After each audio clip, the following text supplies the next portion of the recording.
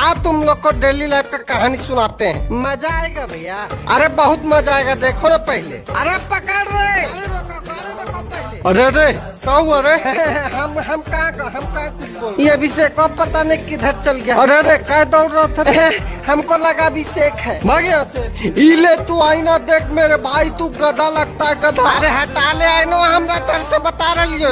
अरे अपना सच्चाई से नहीं भागना चाहिए। अरे भाग जो तू इधर से बता रही हो तो तेरा ढूस के हम भूस कर दूँ वो बता रही हो कोई तो है इस आईने के पीछे जो धराता नहीं है। एक बार धराता अरे कहा हो गलो अरे एकरा में देखी ना एकदम एगो हमरे जैसा है लेकिन पकड़े में न करा पकड़े में न करा अरे उसमें तुम ही है भाई। अरे हमें ही तो निकाल एक एकरा निकाल के दू गो धूम थ्री बने में हम दू दू गो। अरे साला मारबो, हम घूम के चल में जैसे झूम के। चल जैसे हमारा दिमाग खराब हो।